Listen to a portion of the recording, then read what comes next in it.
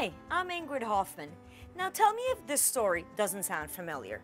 You've had a crazy day at the office. Traffic is insane. You get home, one child needs to go to class, the other one you need to do algebra with. And the dog, that one still needs to get taken for a walk. Who's got time to cook? Well, with the Lynx grill, you do. You can actually make an entire meal on the grill. And guess what? Cleanup, even easier. All you do is clean the grates. So let me show you how easy it is to make an entire menu right here on the grill. The beauty of it is I've got four different heating stations right here.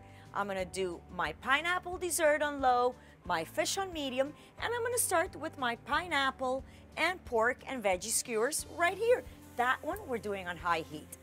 Now, we just put these. I love doing skewers because it's like having a meal on a stick. We're gonna let those cook. Those are probably gonna take the longest. Now, on the medium surface, we're gonna put a little bit of the mahi-mahi. That is going to grill nice and evenly while we have our skewers being cooked. So here we've got our little surf and turf going. Beautiful mahi steaks with a great marinade.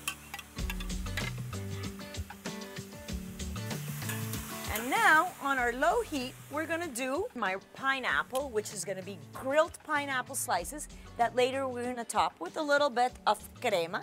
You can add a little bit of rum to your crema or tequila if you wanna do it for the adults as well. Here we put our beautiful pineapple slices. That's all it takes to make a great dessert. So now who said that a grill is only for cooking steak? I love cooking fruit from bananas to pineapples to mango, any type of fruit that you put on the grill. See, I told you, you could cook an entire meal in a jiffy on the grill. And in case dinner is ready but the family isn't, not a problem. We just put our food on our warming rack. Whether you're cooking a meal for family time or party time, you saw how easy it was to cook an entire meal on a Lynx grill. And remember, Lynx grills are mom friendly and dad ready. I guess dinner is done. I suppose I should walk the dog now.